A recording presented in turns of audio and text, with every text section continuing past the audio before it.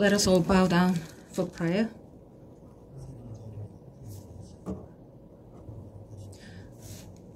Our holy and merciful Father, who has abundant love and grace, we thank you with our whole heart.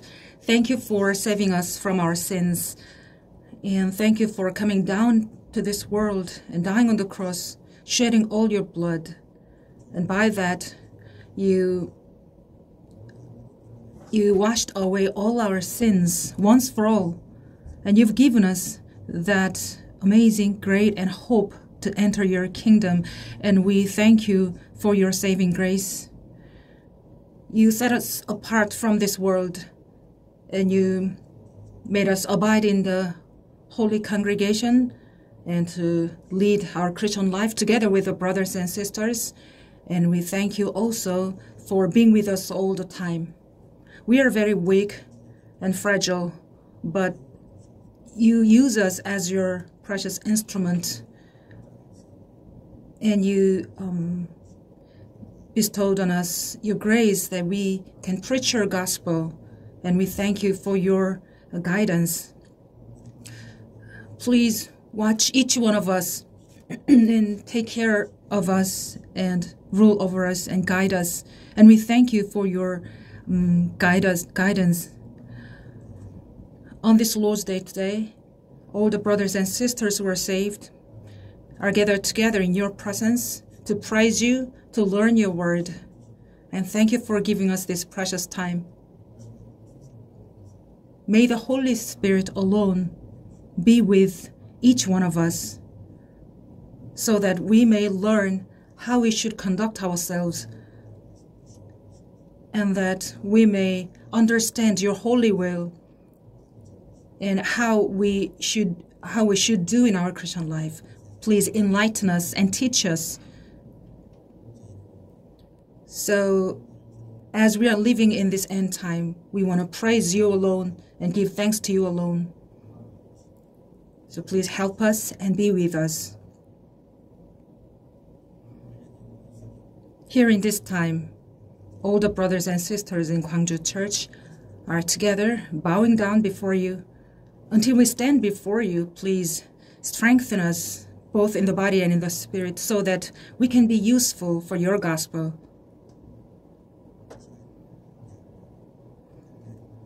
We are praying for those who couldn't join us today, the brothers and sisters, our family members in the in the Lord.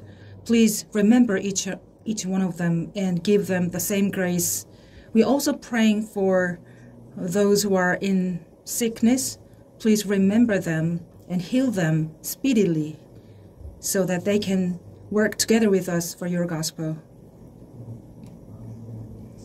And we also pray for those who have trials or troubles and difficulties By the power of your word, please strengthen them and comfort them and encourage them so that they can draw near to you and they can praise you together with us.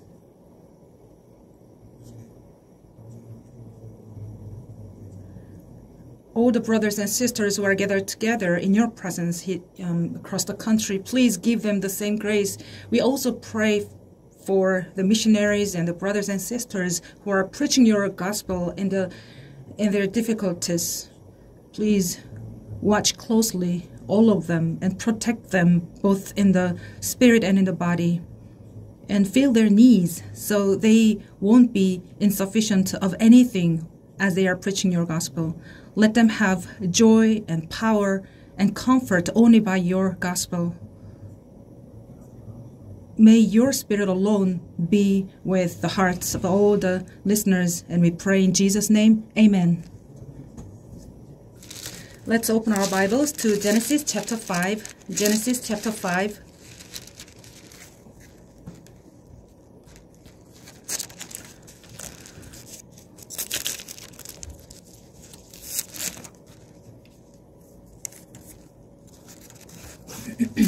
Genesis chapter 5 from verse 21 to 24. Genesis chapter 5, from verse 21 to 24. Let's all read it together. Enoch lived 65 years and begot Methuselah. After he begot Methuselah, Enoch walked with God 300 years and had sons and daughters. So all the days of Enoch were 365 years. And Enoch walked with God, and he was not, for God took him.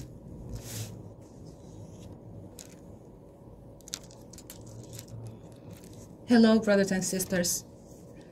I'm so happy to see you. I hope you are well. Um, you're all well, right? Um, I'm I'm not feeling so well today.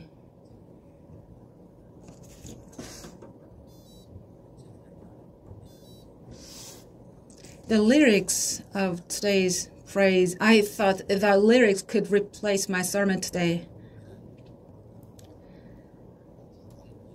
Today we are going to learn a well-known passage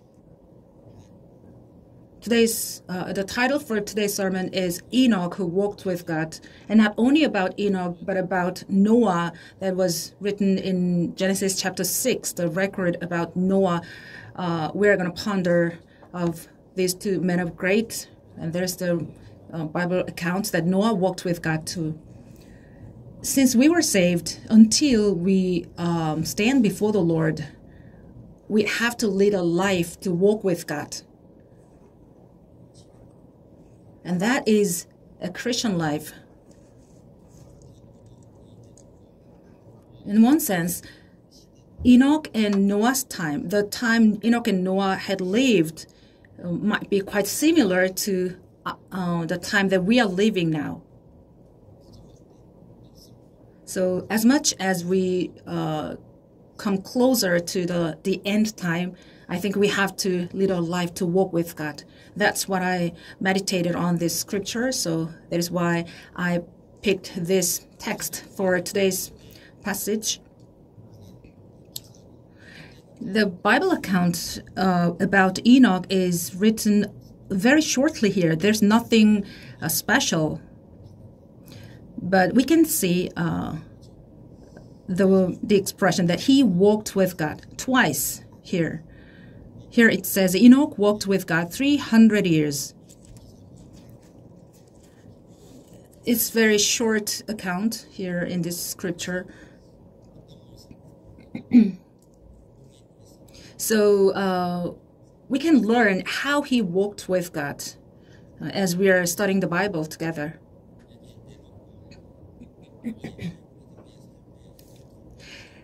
Uh, in fact, uh, Enoch and Noah had something in common.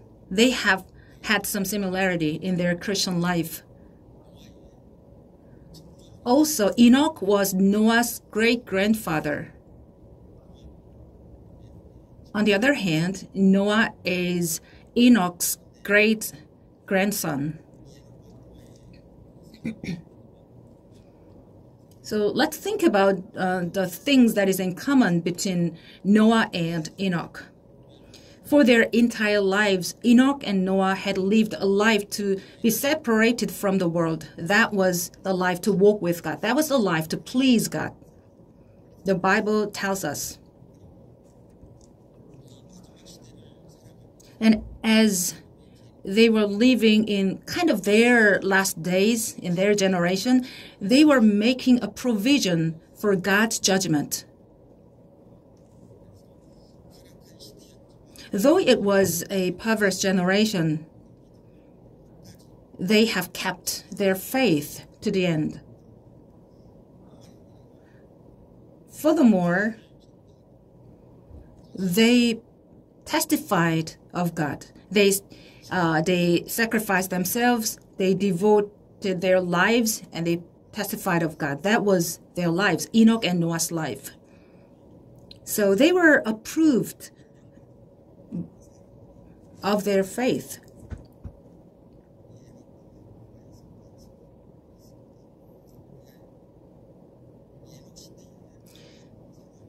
And we can uh, just guess uh, what um, their generation, just, just a little bit from chapter 4 of Genesis, how they, uh, what was the society like. And we can see that it was kind of the last days of their generation. And we are also living in the end time.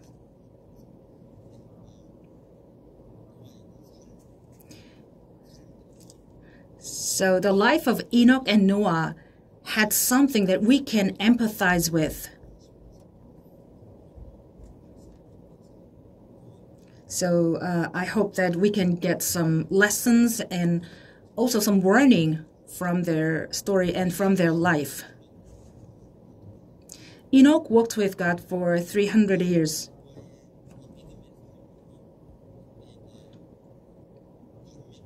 And then, what is the reason their life gives us um, a great impression? What's the reason their life touches our heart? If their life was without any specific difficulties or sufferings or worries or anxieties, if everything went just fine and their surroundings were just fine and good, and in that, if they kept their faith in that good surroundings, good environment, then they couldn't have been so impressive. But uh, their life at the time was not so easy. They had quite tough conditions. They went through many difficulties and sufferings, and yet they have kept their faith to the end and they obeyed the word of God, and they pleased God. That is why their life uh, touches our hearts. As we are listening to uh, the testimony of brothers and sisters, sometimes um, we hear many things, and rather than the testimony um, about their comfortable life or easy life, but the testimony about uh, keeping their faith in a difficult time, in, in hardships that they could never uh, kept the faith, then they, those testimonies actually gives us a, mm, that moves our hearts, and we are overwhelmed by those stories, and we are encouraged and comforted by their testimonies.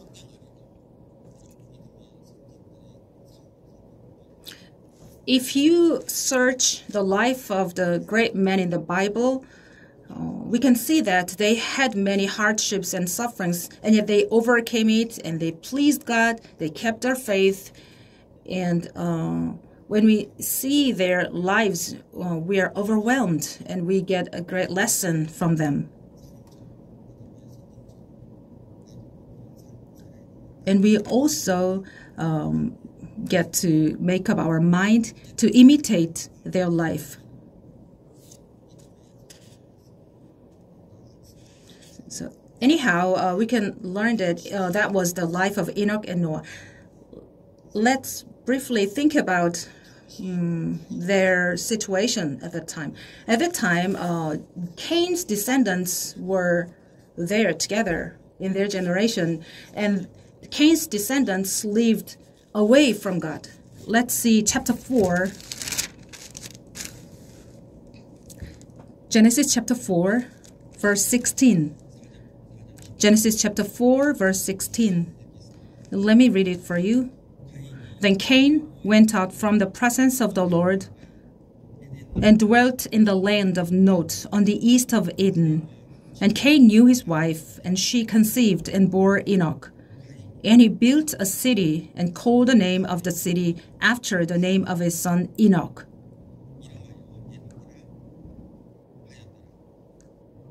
To Enoch was born Irad, and Irad begot Mehujael, and Mehujael begot Methushael, and Methushael begot Lamech. Then Lamech took for himself two wives. The name of one was Ada, and the name of the second was Zillah. And Ada bore Jabal. He was the father of those who dwell in tents and have livestock. His brother's name was Jubal.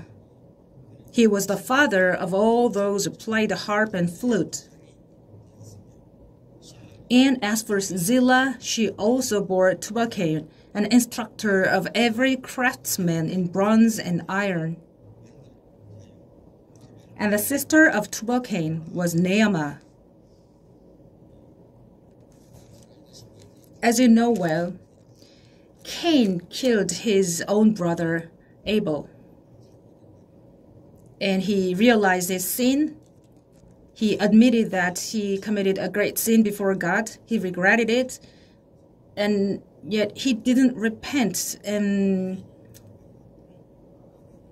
and eventually he left the Lord. And Cain's descendants and their lives are illustrated in chapter 4 here. Cain left God and he built a tower, he built a city. So that uh, indicates um, development of the construction skill, and that um, means a civilization. Jabal became the ancestor of uh, the keeping the livestock. Livestock is means the cattle like dog or chicken or sheep and horse and pigs, the livestock. So it is recorded here specifically that he became um, the father of raising cattle, livestock. So that uh, we can presumably see that a big farm was developed in Jubal. um, Jubal uh, was the father of those who who, um, who played the harp and flute, and that indicates a kind of pop culture or entertainment. Tubal he was an instructor of every craftsman in bronze and iron. So in Korean Bible, in Korean translation, it says a sharp things made of bronze and iron, and that means he forged a tool of a kind of weaponry made of bronze and iron. So, because of the reason they left God, many problems, moral or ethical problems, arose.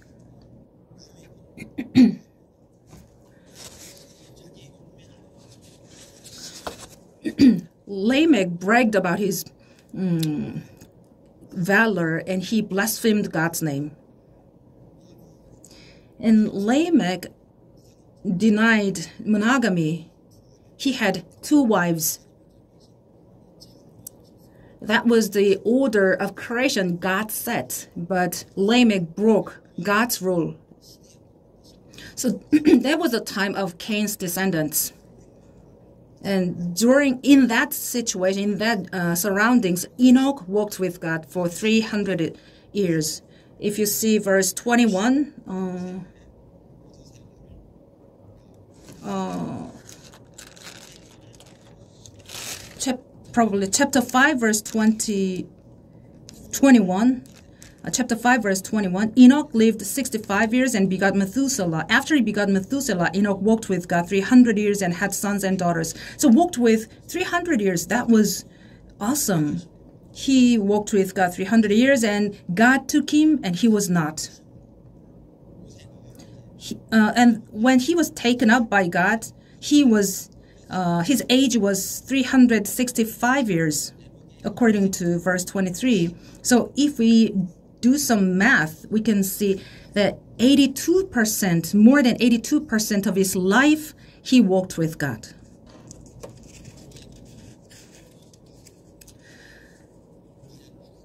Since we were saved, how many percent have you walked with God? Would you please do some math? Would you please calculate just a little bit? How how much how many percentage have you walked with god? If you have never done that then please do it uh, later today. How many percent of your life was offered to the lord? How many percent have you walked with god?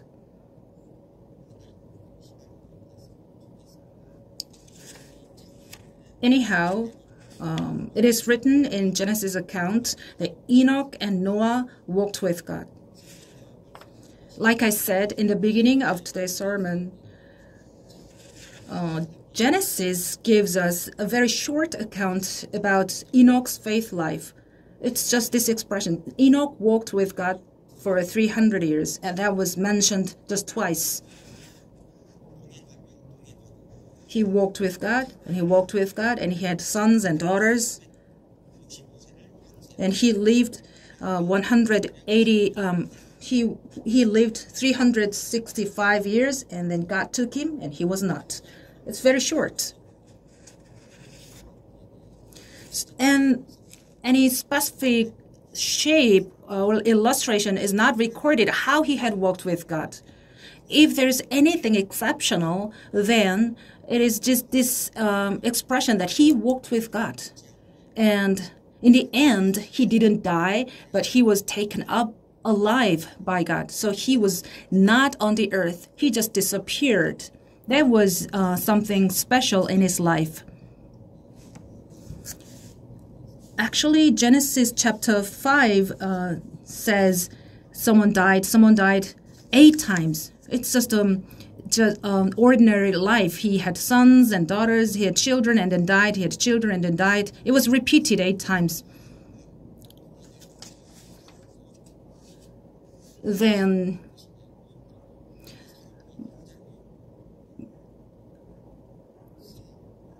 so from this short uh, scripture, we can presumably think that the, the life to walk with God can please Him. We born again Christians also need to walk with God. That is uh, the lesson I um, I could get from this scripture. Then let's think about how he walked with God. Here we can see the word walk with. This word walk with, if you look it up in a dictionary, um, Korean Standard Dictionary, it has the meaning of accompanying or going with, or it has the meaning that they go together to a forced labor. And uh, the original language, it has the meaning that he uh, followed the will of the Lord. So, all in all, it means that Enoch uh, led an upright life following the will of God. He was living in a perverse generation. He was uh, the world was corrupt at that time, but he had a close fellowship with God, and he set himself apart to the Lord from this world. That was we can um, ponder from this scripture. So clearly, the Bible says that Enoch walked with God for 300 years. Then, was there any reason that he he began he began to walk with God? Let's see verse 21. Verse 21 Enoch lived 65 years and begot Methuselah. After he begot Methuselah, Enoch walked with God 300 years and had sons and daughters. Here it says, after he had after he begot Methuselah, Enoch walked with God 300 years.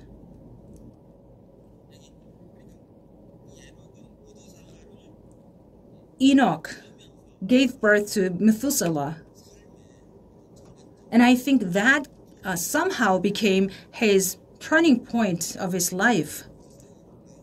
After he had Methuselah, he began to walk with God, and he did it for 300 years. He had sons and daughters. And the name Methuselah has the meaning uh, of a person who throws a spear at in the ancient times, when they had a battle, all the soldiers went out from the city, from the, the castle. Then uh, the person who was guarding the gate, who, who is hurling the spear at, the, throwing the spear at, he becomes the last person to, to protect the castle. If that person dies, then that represents total defeat from the battle. The meaning of name Methuselah has the meaning of the person the soldier who throws a spear. So if he dies, if that person, the last soldier, dies, then that means total destruction. And the castle, the city will be trampled by um, the enemy country. They will be taken captive, and the tribulation will come upon them. And also, the name Methuselah has the meaning that um, the destruction, the judgment comes if he dies. Enoch had Methuselah and named him so. As you know well, Methuselah was the person who lived the longest. Among all the, the characters in the Bible, he lived the longest. How long had he lived? He lived up to 969. And someone said, Methuselah, when he heard Methuselah, why? Okay, that's pun intended. Game in Korean word that means why do we need to count his name? Because he lived so long. Anyhow, uh, Methuselah, uh, Enoch named his son Methuselah. Why did he name him um, Methuselah? Because probably God gave him a prophecy about his judgment. So Enoch knew that clearly God's judgment will come upon the earth when Methuselah dies. So, since the time he had Methuselah, he began to walk with God. That's what we, we could figure from the scripture. And Enoch realized that this is the end time. God's judgment is very imminent probably God enlightened him to know that. Genesis chapter 5 verse 25 says Genesis chapter 5 verse 25 says Methuselah lived 187 years and begot Lamech. So Enoch had Methuselah at the age of 65 and Methuselah had Lamech at the age of 187 and Lamech had Noah at the age of 182. So when Noah was born, Methuselah was about 369 years old. And Noah, uh, when Noah was 600 years on that year, the flood came. So if we if we do some math, we can see that Methuselah, when Methuselah became 969 years old, the flood came, which is exactly the year Methuselah died right after Methuselah died, God struck the land by the flood. That is written in Genesis chapter 6, 7, 8, and 9. Enoch's prophecy was uh, accomplished. Enoch's uh, prophecy uh, came to pass. As soon as Methuselah died, the flood came, the destruction came. And Enoch was taken alive. There's no mention in the Bible that he died. He walked with God, and God took him, and he was not. God took him alive to his kingdom. So that represents that some day later, when the Lord comes again, then there will be the people who will be taken alive. Not only Enoch, but also, uh, there's another person who was taken alive who didn't see death. Who was it? It was Elijah. He was taken up alive on a um, fiery chariot.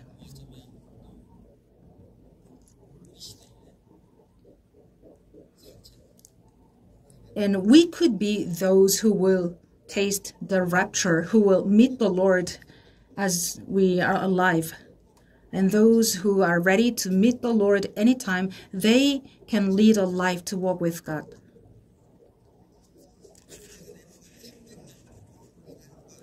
So Enoch walked with God for 300 years.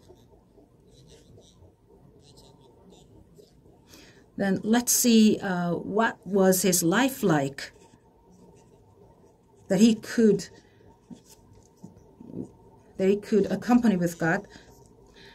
The meaning of the name Enoch is the person who obeys, the person who follows.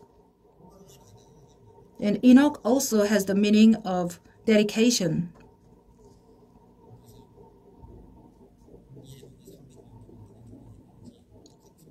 And let's see more specifically how he had lived for 300 years. And that is written in another parts of the Bible.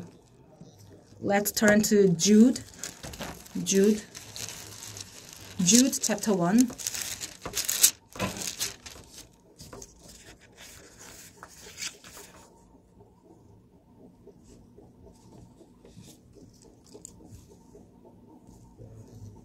Jude chapter 1 verse 14 from verse 14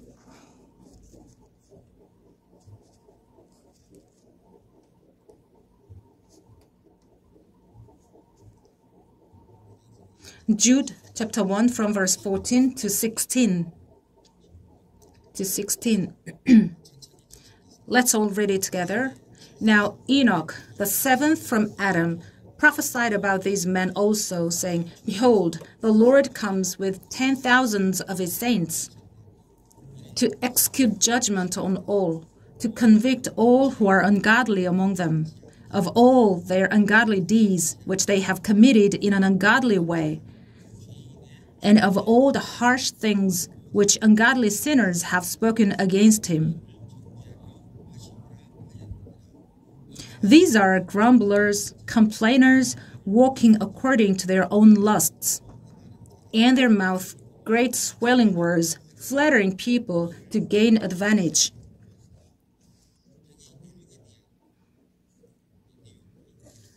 Here we can find the account about Enoch. And we can see more specifically how he walked with God. So, what do you think? Will it be easy to walk with somebody or not? Actually, it is quite difficult. Whether it would, would be friends or whoever. Have you ever lived together with a mate? Uh, like, have you ever had roommate or a living mate? Let's say you live together with your friend, no matter how close you are, living together is not easy. It's never easy. And if, even if it's your um, brother or your sibling, and living together is not easy. And I heard that there could be many, there are many conflicts and sharing room with your friend is so difficult. So not long after they are separated and live separately, and we can see that from time to time. So uh, we can presume that it's not easy to walk together for so long. But Enoch walked with God for 300 years. And here we can see Seth's descendants. Enoch was the seventh from Adam. And you can find the name Enoch among the Cain's descendants. Also, Lamech, the name Lamech, you can find the name Lamech in Cain's descendants. And also, Seth's uh, descendants, Noah's father was a Lamech. So they share the same name, though they are different persons. Their names are the same but we can see that the measure of their faith or their characters uh, are all different, though they share the same name. So maybe, or obviously, we have we were given the same name that was given by God, the precious name, the name Christian. We share the same name, Christian. And though we have the same name, Christian, some lead a life to please God, some walk with God, and yet others grieve Him. Though we have the same name, and yet our lifestyle or the measure of our faith are all different. The measure of faith and characters are all different.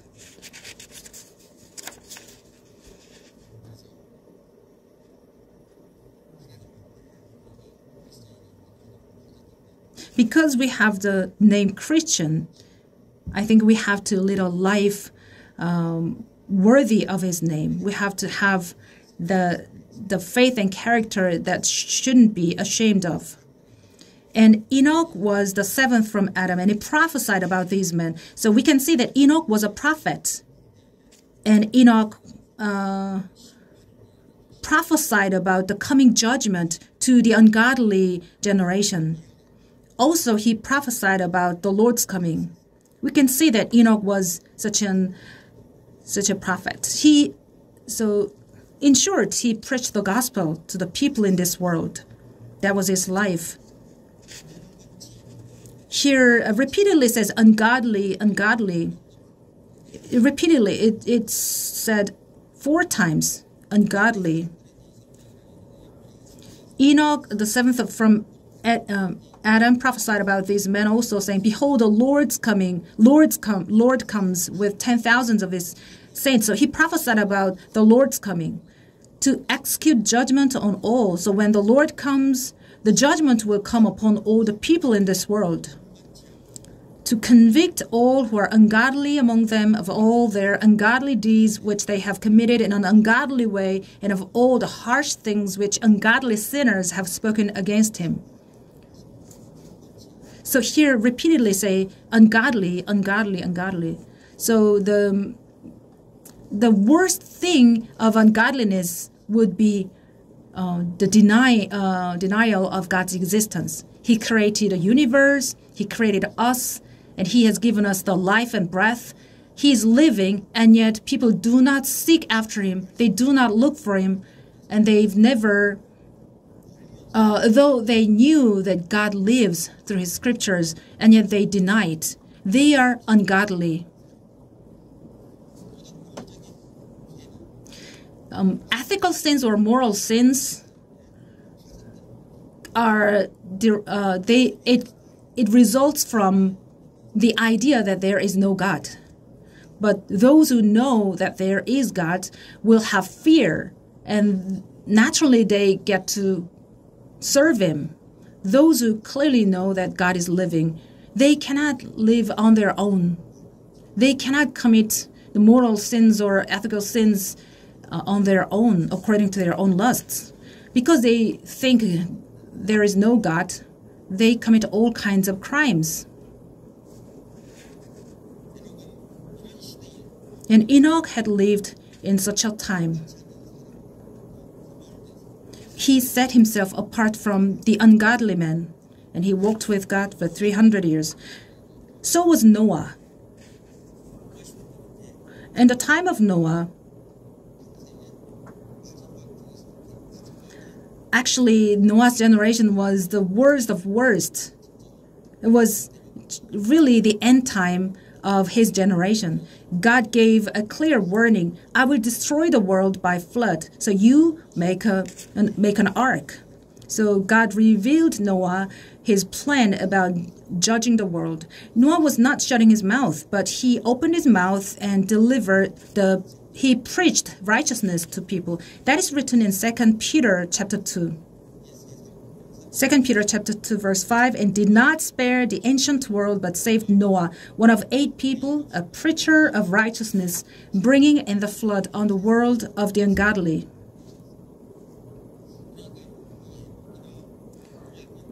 Enoch and Noah they were clearly aware of the end time.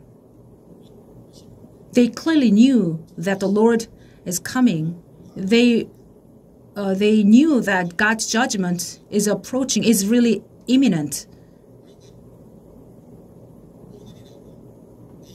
So even today or tomorrow, the Lord may come. They had that mindset all the time. They're always alert. No, Enoch and Noah were always alert to see the day approaching. So those who have that attitude can keep their lives holy and godly.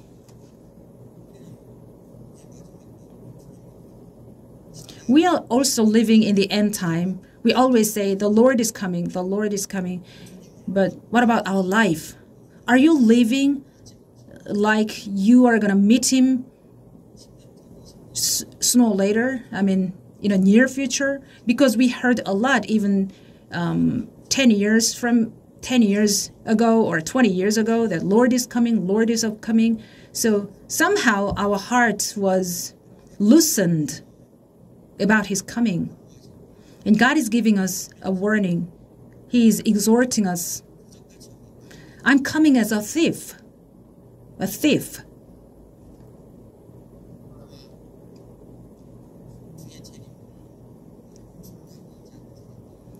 To those who haven't prepared for the Lord's coming, the, he will come as a thief, really as a thief. But if there's uh, any of you who are always ready to meet him, and you, you, if you think you have the attitude that he could come even tonight or tomorrow, it will not be like a thief because you, uh, you are ready and you made a provision.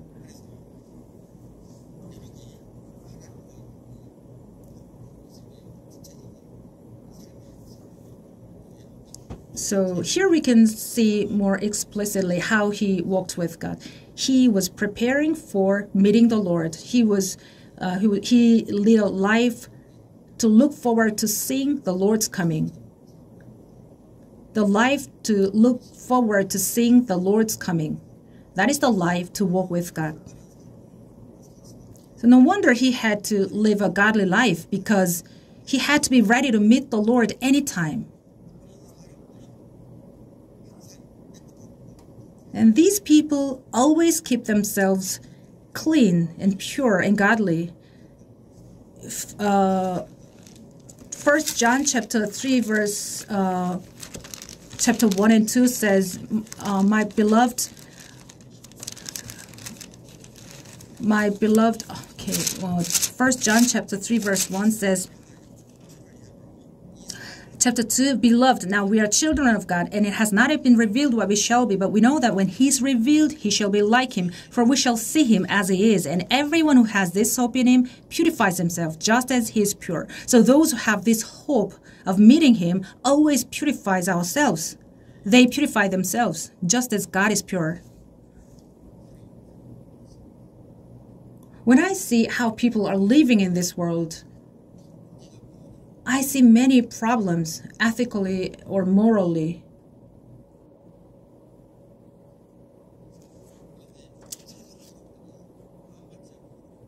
But anyway, they are the unbelievers, they are the unsaved.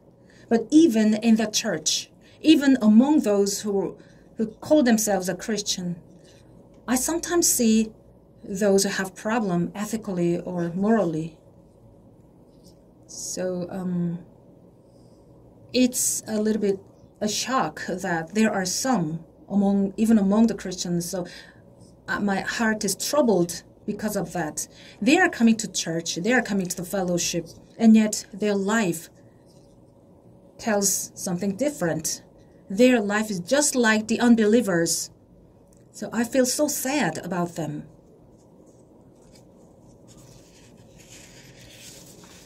And there could be some of you who think the Lord's coming will be delayed. So um, I may have some more time. Actually, that is um, that thought is quite dangerous. If you have that thought, then probably that will be the time the Lord comes. So we have to be really alert and vigilant. Let's turn to Luke's Gospel, chapter 12. Luke's Gospel, chapter 12. Luke's Gospel, chapter 12.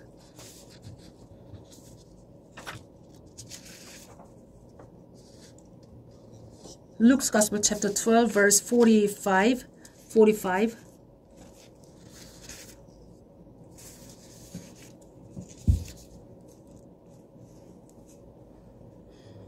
Luke's Gospel, chapter 12, verse 45.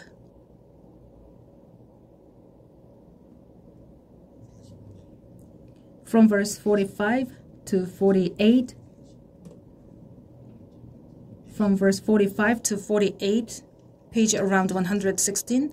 Let's read it together. But if that servant says in his heart, my master is delaying his coming, and begin to beat the male and female servants, and to eat and drink and be drunk. The master of that servant will come on a day when he is not looking for him, and at an hour when he is not aware, and will cut him in two and appoint him his portion with the unbelievers. And that servant who knew his master's will and did not prepare himself to do according to his will shall be beaten with many stripes. But he who did not know, yet committed things deserving of stripes, shall be beaten with few. For everyone who, uh, to whom much is given, from him much will be required, and to him to whom much has been committed, of him they will ask the more. So here we can say we can see mm, the servant say to himself, "My master is delaying his coming," and begin to beat the male and female servant to eat and drink and drunk. And the master comes because he has that attitude. He lives um is that such a life? You can see the parable of ten virgins in Matthew's gospel. Five were wise, the other five were fools the wise virgins they met the uh, the groom but the groom groom's coming was delayed. So what happened? They all dozed off and slept. They fell asleep. Because they thought the the groom's coming is delayed. So even the wise they fell asleep. So that can happen even to us. That can apply to us as well. Our Lord may come late. And if we think so, then there's a high probability that we may doze off. We may just fall asleep. But think about Enoch. After he had Methuselah, he always thought that the Lord is coming. His judgment is imminent. He had that attitude. So, how many years? 300 years he walked with God. So, life to look forward to seeing the Lord's coming, that is the life to walk with God. And another point, how he walked with God, uh, is manifested in, in the scripture. Hebrews chapter through Hebrews chapter 11, we can see what kind of life he had lived as he was walking with God. Hebrews chapter 11, Hebrews chapter 11.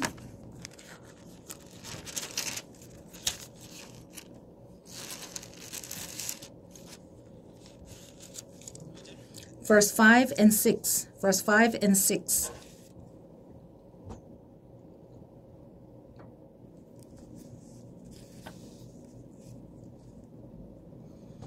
Hebrews chapter 11, verses 5 and 6. Let's read it together. By faith, Enoch was taken away so that he did not see death and was not found because God had taken him. For before he was taken, he had this testimony that he pleased God. But without faith, it is impossible to please him. For he who comes to God must believe that he is, and that he was he is a rewarder of those who diligently seek him.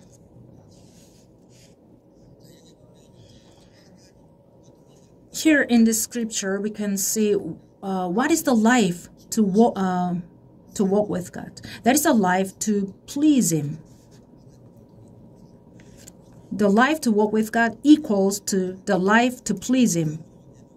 By faith, Enoch was taken away so that he did not see death and was not found because God had taken him. For before he was taken, before he was taken, he had this testimony that he pleased God. He pleased God. So the life to please God is the life to walk with him. And secondly, uh, we can see um, his life more specifically. In his life, Enoch always was assured that God is living. God is living. God is right before me. He is in God's presence. I'm, I'm in his presence. He was aware of God's presence all the time. It doesn't simply mean that he was sure of God's existence, but in his life, he feared him and revered him and honored him through his life.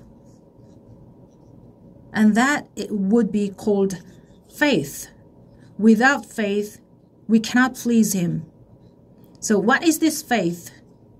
That is the life to please God.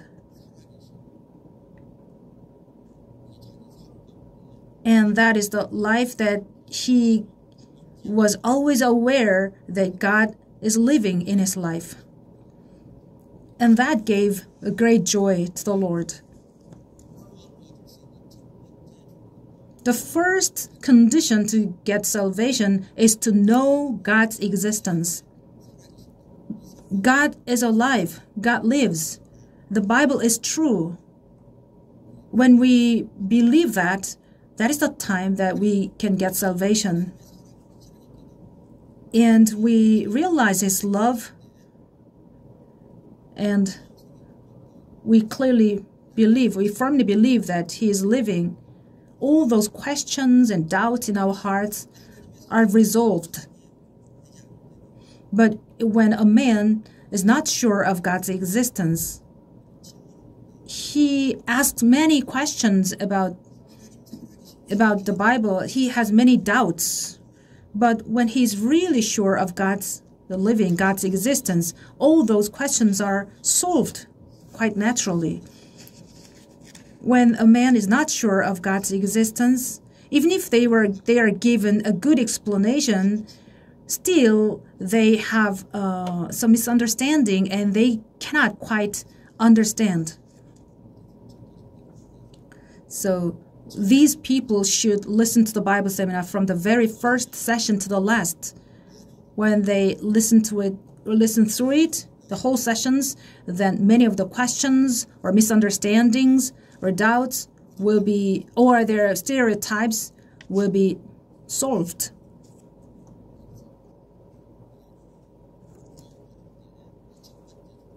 The first condition for salvation is to know God's existence for sure. John's Gospel, chapter 17, verse 3 says, This is eternal life, that they may know you, the only true God, and Jesus Christ, whom you have sent. So, firstly, you have to know God the Creator, who created the universe, who created you, who has given you the life and breath.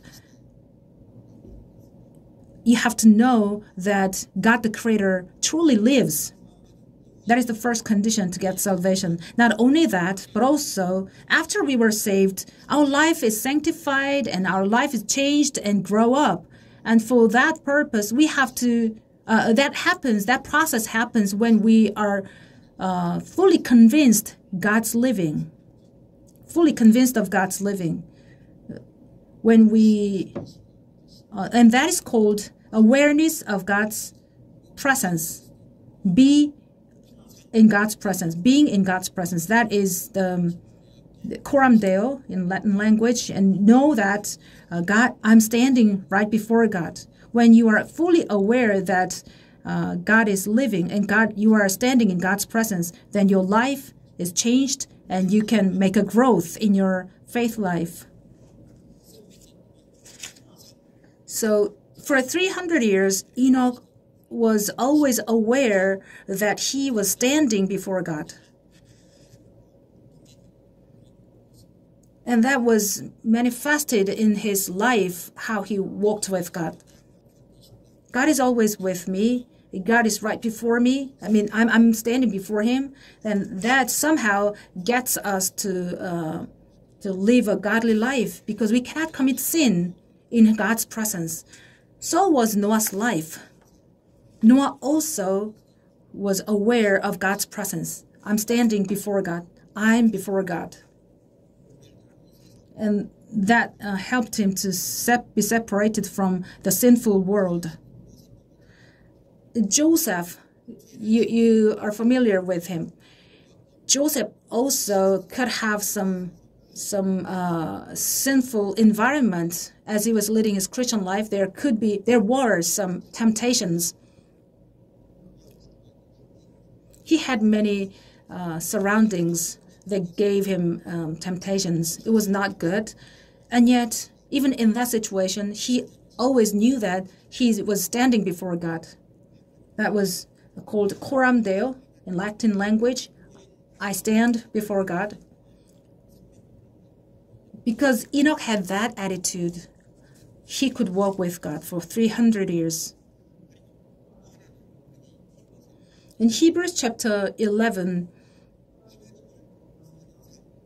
we can see Enoch had led a life to seek after God, seeking after God.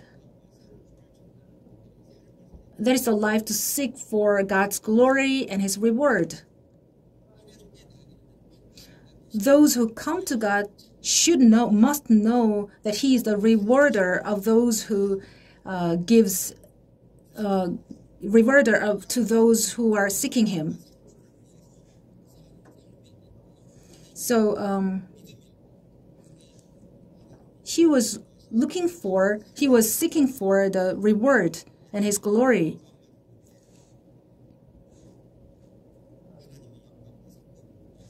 Enoch had lived for the glory and the reward.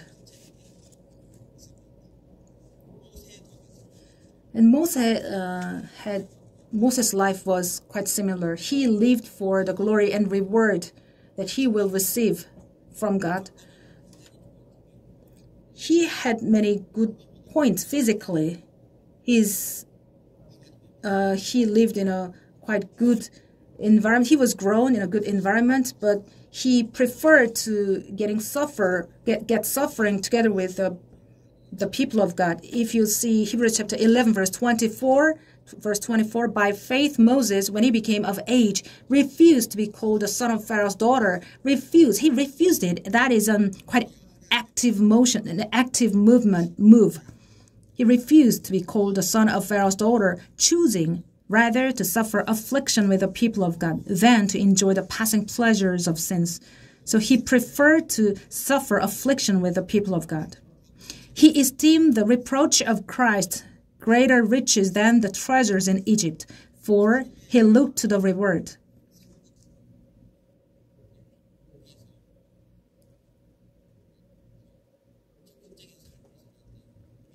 So he uh, there's another man of faith whose name was Jacob, who lived very actively for the reward of God. Until God blessed him, he wrestled with him. It's really hard to wrestle with our flesh. When, as we are living a life to live for God's glory, actually we find that our body, our flesh is very strong. But Jacob overcame his flesh. he thought that I will pursue the will of God. That was his attitude. So even from birth, he was holding the heel of his older brother Esau. He it was like it was a good illustration that I want to go first. I want to be the first son. And through his life, he always pondered how I can get the inheritance of my father. How can I get the the right of the firstborn? he was seeking for God's glory and reward. Abraham was the, the mm, father of faith. Isaac was called a man of love. Jacob was called a man of hope. Man of hope. Because he put his hope in the heavenly kingdom. He was waiting for God's promise. He was looking for the reward and glory. That was Jacob. And so was Enoch here. And that pleased God. Apostle Paul also pressed toward the goal for the prize of God. After he met Jesus Christ, who was raised up, as it is written in Philippians chapter 3, verse 13, Brethren, I do not count myself to have apprehended, but one thing I do, forgetting those things which are behind and reaching forward to those things which are ahead. I press toward the goal for the prize of the upward call of God in Christ Jesus. So he had a clear goal, clear goal of life. It was already set right before him. So I press toward the goal for the prize of the upward call of God in Jesus Christ. Abort call of God, the prize of the abort call.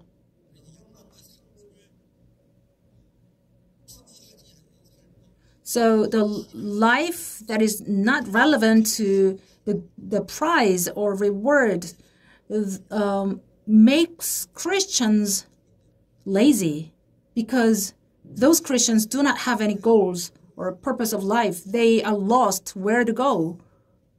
So they are going astray. From time to time, they are going astray to the world. But Enoch had his goal very clearly, very clear goal toward God.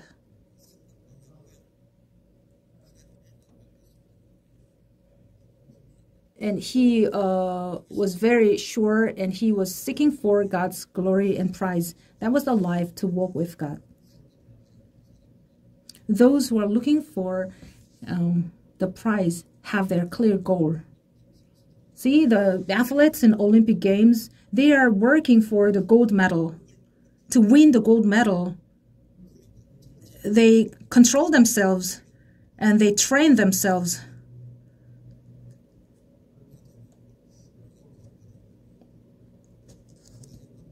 Then what about us? Since you are saved, what purpose have you had? And what what uh, what kind of life are you leading? That is the part we need to check.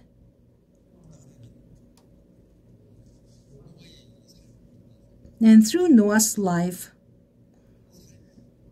we can see uh, what is the life to walk with God. Let's turn to Genesis chapter 6. Genesis chapter 6. Genesis chapter 6. Verse 9 and 10. Verse 9 and 10.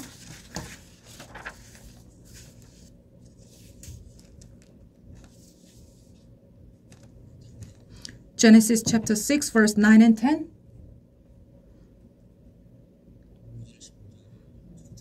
Let's read it together. This is the genealogy of Noah. Noah was a just man, perfect in his generations. Noah walked with God. And Noah begot three sons Shem, Ham, and Japheth.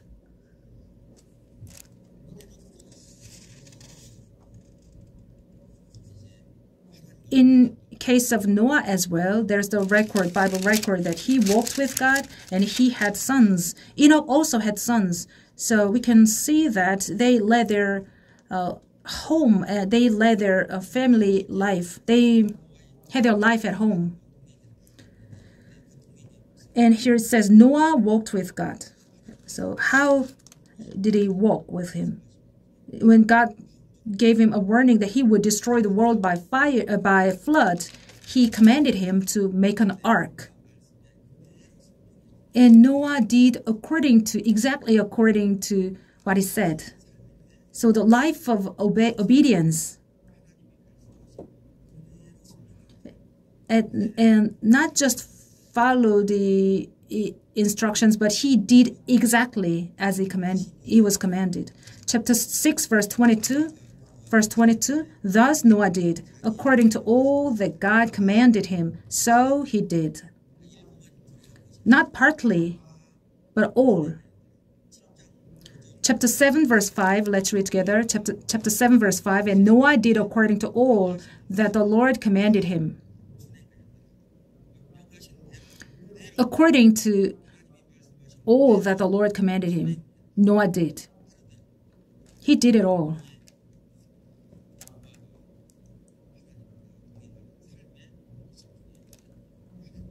That gives us a great illustration how he obeyed God and how he walked with him.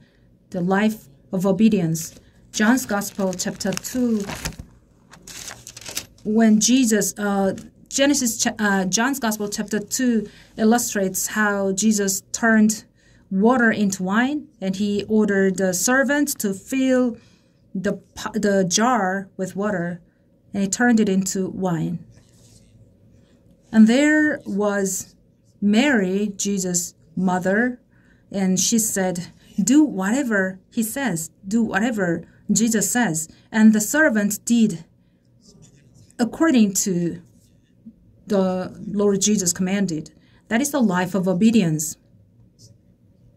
And that gives us a great lessons. Hebrews chapter 11 verse 7 uh, teaches us what kind of faith Noah had. By faith, Noah, being divinely warned of things not yet seen. So he had never seen the rain because there was no rain at the time. He had never seen rain, but he uh, was divinely warned of things not yet seen. Moved by godly fear, prepared an ark. He was moved by godly fear. He feared God.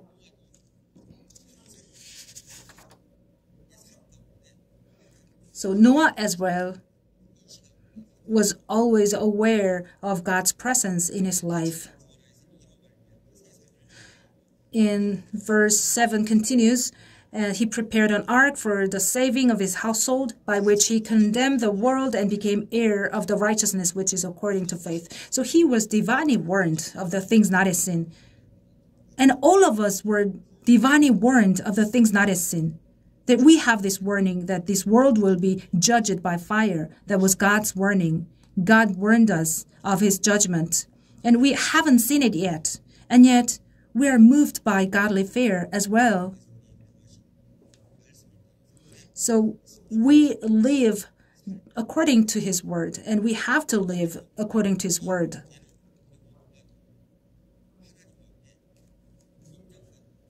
So Noah and Enoch was approved to God about their faith, and they got the testimony that he pleased God. In Noah's, uh, Noah's case as well, Ezekiel chapter 14, verse 14, and Ezekiel chapter 14, verse 20 says, uh, Noah, Daniel, and Job, these three names are mentioned, and there is a great compliment about their faith. Noah, Daniel, Job and God called them the righteous. And when eh, they were called the righteous, it doesn't mean that they didn't have any sins and perfect as God, but at the very center of their life, there was God all the time. And they they tried to live a life to live according to word of God, and God considered it righteousness. They led a life to accept God's promise as it was. That was called righteousness. So not only Enoch, but also Noah was approved of his faith before God. We are living in the end time as well. And in, the, in this end time, we also have to be approved to God of our faith. That would be really great if we are approved by God about our faith. That'll be the most successful Christian life. 2 Timothy chapter 2 verse 15 says, "Be diligent, present yourself approved to God, a worker who does not need to be ashamed, rightly dividing the word of truth." Be diligent to present yourself approved to God. So we have to be diligent to do it because it's hard to carry out. We have to strive to do it. To walk with God, now what should we do? There are uh, several points that we need to ponder. Firstly, we have to have the same purpose and same uh, goal, same direction. We have to have the same direction. To walk with God, eventually we need love. And basically, we need love. Love is the prerequisite of walking with God. When we have love, then we can walk together with Him. Um, more specific shape of love is manifested in God's cru- uh, crucifixion. The love on His crucifixion is manifested in the shape of forgiveness or service or sacrifice or devotion and solicitude. When we have such a love, we can have the same goal and we can walk to the same direction. We can walk together. We are already dead in, on the cross together with Jesus Christ. Because of our sins, our Lord Jesus was crucified, and when he died on the cross, we were dead together with him. Those who are on the cross had some uh, some things they have in common. Unless they die, they cannot come down. That is one thing. And secondly, they cannot turn around. They cannot turn back on the cross. So these people have the same purpose, and these people go to the same direction. We bear the same burden, same yoke. we bear the same yoke on the same position, then we can walk together with God. Also, we can walk together with the brothers and sisters. Let's find another scripture, Matthew's Gospel, chapter 11, verse 28. Matthew's Gospel, chapter 11, verse 28.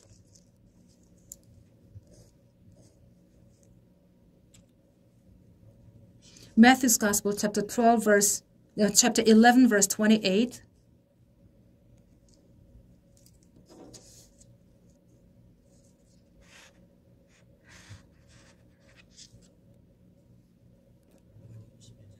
Chapter 11, verse 28 to 30. Let's read it together. Come to me, all you who labor and are heavy laden, and I will give you rest. Take my yoke upon you and learn from me for I am gentle and lowly in heart, and you'll find rest for your souls. For my yoke is easy and my burden is light. Here in this scripture, Jesus said, Take my yoke, um, come to me, all you labor and are heavy laden. So come to Lord Jesus, not anywhere else. I will give you rest. Take my yoke upon you and learn from me, for I am gentle and lowly in heart so take the yoke of the Lord Jesus, not your own yoke, but Jesus' yoke, and learn from me. But there could be some of you who is taking the yoke of their own and learn from God. W- will that be easy or difficult? It'll be really difficult and hard. Jesus said, Take my yoke upon you and learn from me. Then your soul shall find rest. But you want some yoke and you take that yoke of your own and try to learn from God. So that's not a rest, but that brings, that gives you the suffering. They learn from the Lord, and yet the problem is they are taking their own yoke, not the Lord, Lord's, uh, not the yoke of the Lord Jesus. Take my yoke upon you and learn from me, for I am gentle and lowly in heart, and you'll find rest for your souls. For my yoke is easy and my burden is light. So take the yoke of the Lord. And we have to carry it on the same position. Yoke is on our um, neck or shoulder, not on our waists, right? Or not on our butt, not on our legs we have to carry this yoke on the same position.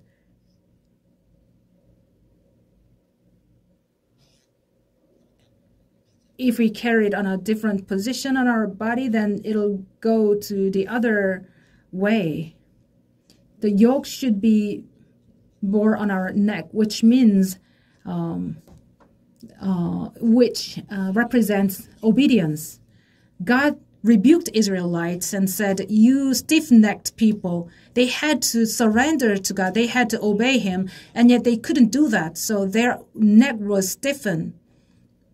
When we bear our uh, the yoke on our neck, that represents our obedience.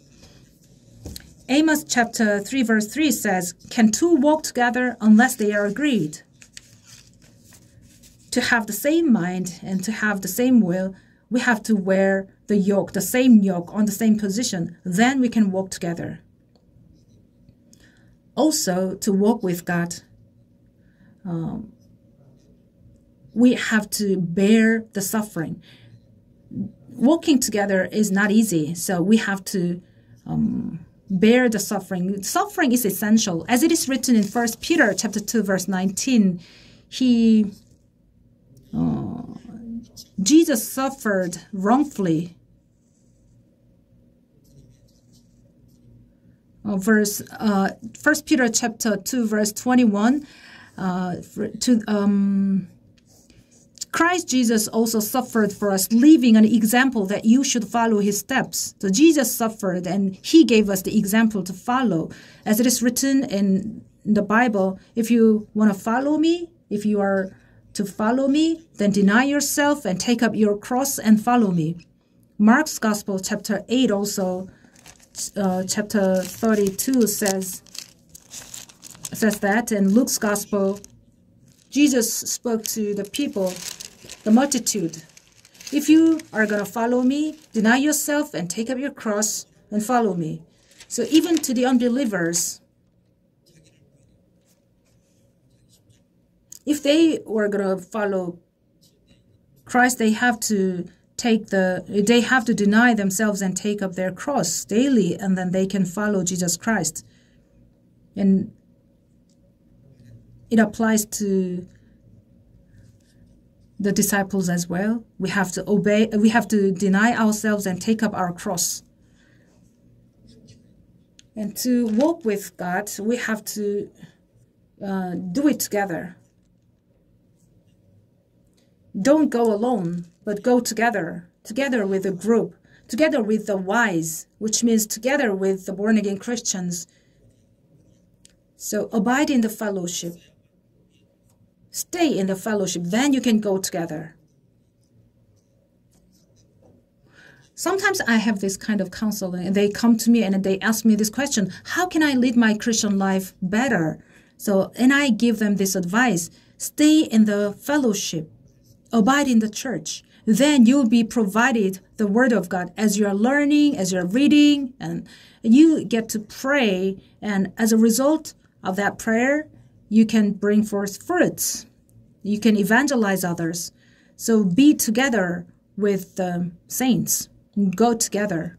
If you go alone, probably you can go faster, but if you go together, then you can go joyfully and you can go farther. So, brothers and sisters who are sitting next to you, they are precious. You have to consider them precious thanks to the brothers and sisters around you, you are keeping your faith and you are leading your Christian life so far.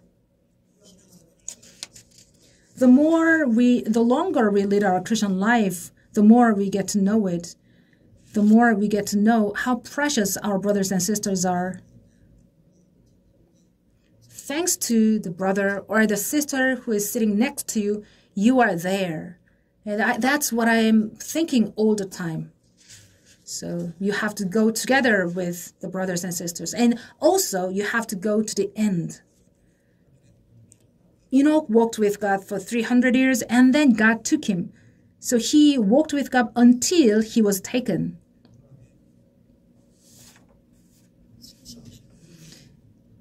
So, as a human being, as a human, eh, it's not easy to walk with, with God for 30 years, right? And actually, uh, we don't have much time to walk with him because the time is imminent. The day of his coming is really close.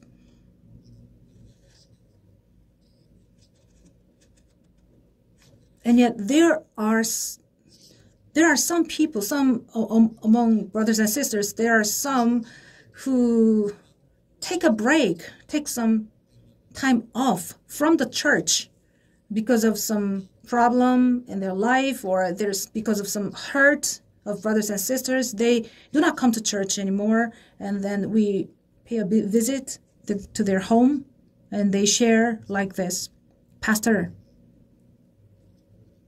i have this difficulty in my life. So i had i'm having a vacation of my christian life. So when this vacation is over i will come to church well, do we have a vacation about our Christian life? No, we don't have. When we get to his kingdom, then finally we're going to have the vacation. And vacation is good, but we have our homeworks and assignments during the vacation. So there is also a problem. But in heaven, there's no assignment, no homework at all in heaven. Even if we have vacation, it's always, it'll be always joyful no burden at all. It, it'll be just good. So don't make an excuse of the difficulties in your life or at home or your work or husband or children or parents. You may have many difficulties because of that, but if your heart is bound by all those problems and you cannot spare any time for the Lord, then that is quite sad and that's a waste of time. So that shouldn't happen to us. 2 Timothy chapter 4 verse 7 we have to keep this scripture in our hearts as apostle paul confessed in 2 timothy chapter 4 verse 7 i have fought the good fight i have finished the race i have kept the faith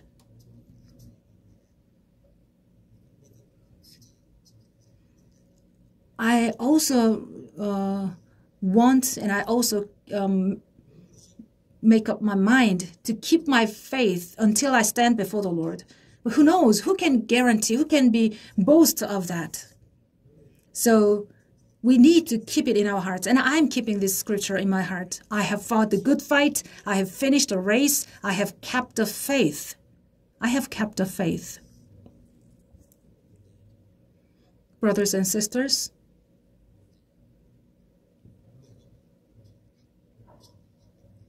Don't say only with your lips that the Lord's coming is near. We don't know how many times, how much, how many time, how much time we still have. But we do know that the end time is really close. The day of his coming is approaching. So we have to be ready to meet the Lord. That'll be the life to walk with God. So let's remember that. and let's lead a life to obey just according to what he said.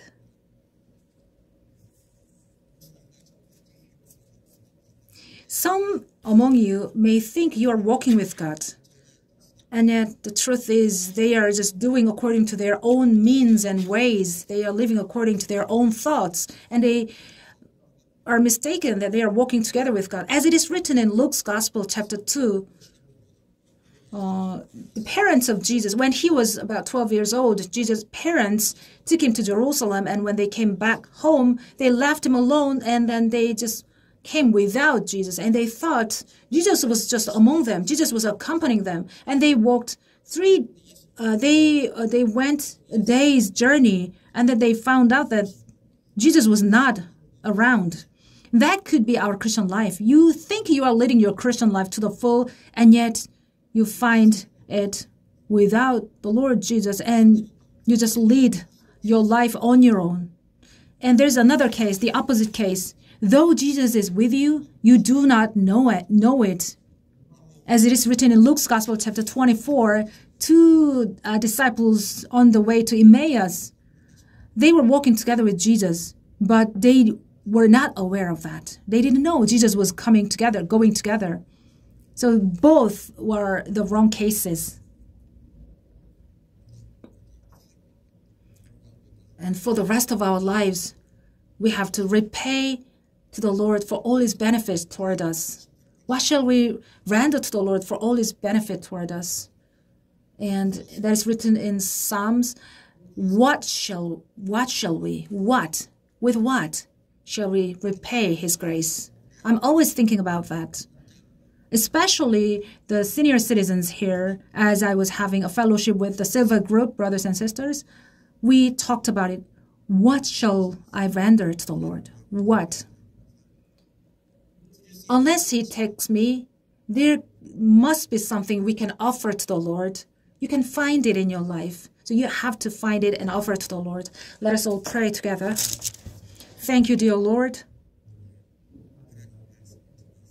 Today, through your word, we learned about Enoch, who walked with you for 300 years, and also Noah and his faith life. When we got a lesson how we ought to conduct ourselves in these last days. We don't know how many days we still have. But we want to live not for our flesh, but for you and for your gospel and for the church and for the brothers and sisters for the rest of our lives. We are weak and fragile and we are insufficient of many things, but you are pleased to use each one of us. May our hearts long for you alone.